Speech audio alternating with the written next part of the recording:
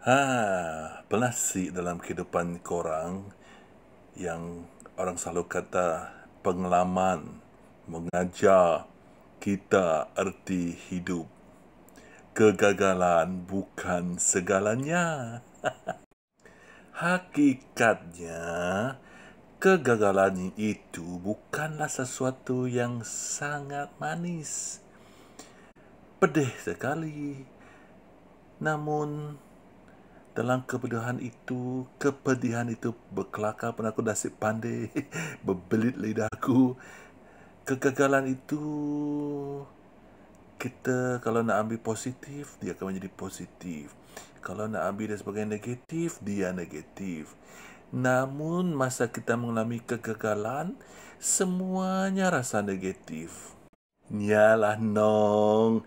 Nong, mungkin kita orang si pernah gagal, maka semua benda yang kawan kata senang dihadapi. Mun kita orang yang nong pernah mengalami kegagalan, kegagalan, barulah kita orang tahu macam ni rasa kita lihat kawan-kawan kita sudah maju jaya dalam kehidupan dan kita lagi terkapai-kapai di lautan yang luas.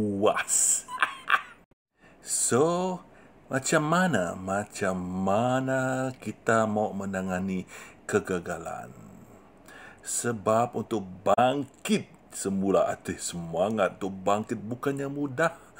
Kadang-kadang kita rasa malu dengan persekitaran, malu dengan orang ramai, malu dengan diri sendiri.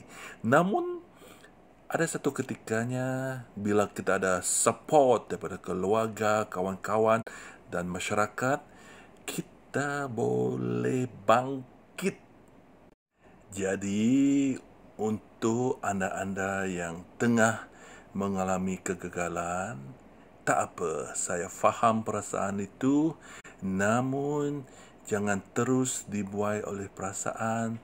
Cuba bangkit, cuba mencari kekuatan diri.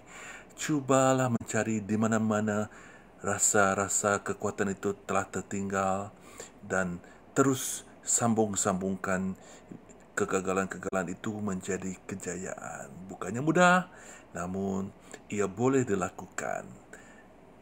Namun saya tu bukannya siapa-siapa.